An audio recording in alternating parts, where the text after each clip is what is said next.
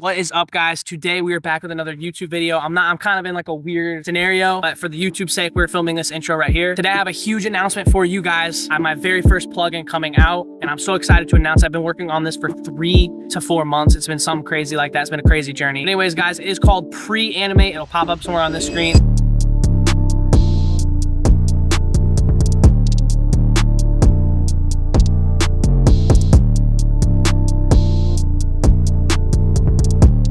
About to explain it right now, but this is a DaVinci Resolve plugin. This is for mainly content editors, but it could be for anyone. But anyways, we're gonna hop into DaVinci Resolve right now, and I'm gonna show you guys exactly how this works. But where you can get this is the link down in the description. But continue watching this video because I'm gonna show you exactly how it is used in DaVinci Resolve. Let's get it. All right, guys, so we're about to hop into DaVinci Resolve. Um, but beforehand, I wanna let you guys know that this works in both Studio and the free version. So either way, you guys should be good to go and install this. Um, I'm gonna show you guys how to install it and then how exactly it works. All right, so once you install it, you're gonna be left with a zip file. Um, once you unzip that file, this is what's in the file. So we have a DRFX file, a nice little animation, cover of it, and then basically a video of step-by-step how to install it and use it properly, which is also exactly what we're going over in this video. So with the DRFX file, all you have to do is simply double click with DaVinci Resolve open. And as you can see here, you'll be left with this right here.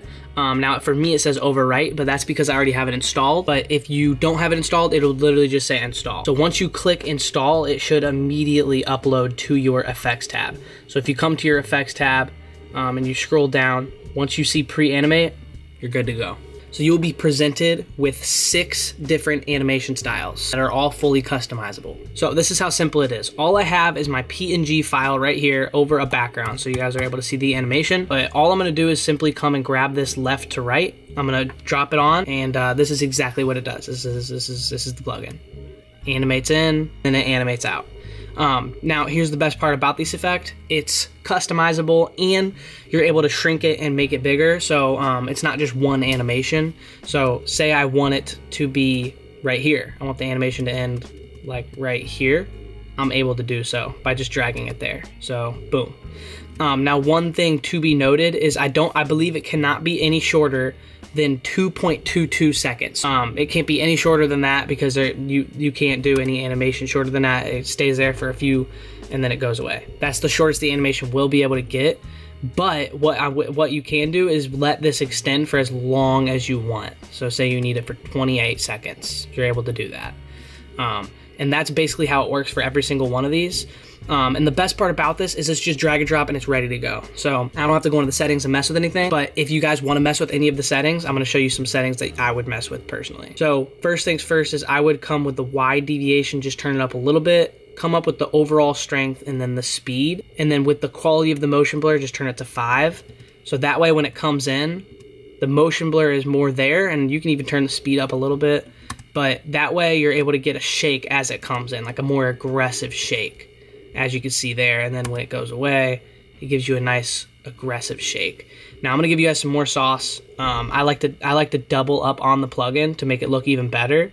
So what I would do is I would drag and drop Magic Zoom on from Mr. Alex Tech, um, and what that will do is if you come to the Magic Zoom and go to the camera shake and just turn up the speed scale, you're able to get something like this, and it'll shake around during the whole clip, which I think is super cool um, and you could double up on those, and and that's a really cool effect as is. But boom, just like that, you have a cool animation in, and you could do it um, either style. So you have down, up, left, left, left, right, right, left, right, right, and then up and down. Um, and then I'm about to show you guys exactly how you're able to customize them. In the Fusion tab, you have to go to Templates, go to Edit, go to Effects, and then under Pre-Animate right here, you're able to just upload these these files to the timeline. Holding Shift, you can just drag and drop it, and now you have this in your timeline.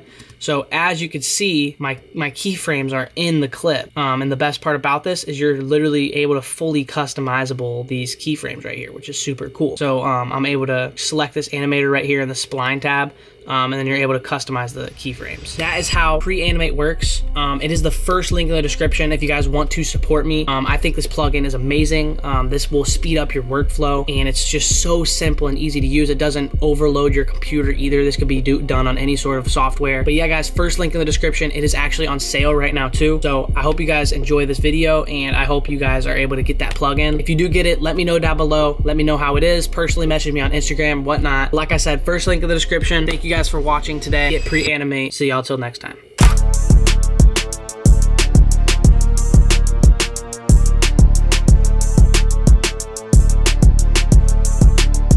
Ryan Herrick, what does he do? Pre-animate the plugin. Is it coming out soon? Uh, yeah, I think so. Isn't it already out? Is it? Is it? Yeah, it's on the way it's in the link first link down description, right? Wait, hold on. Isn't it on sale? It is on sale. Oh snap! I might have to get it. I bet. Go get it right now.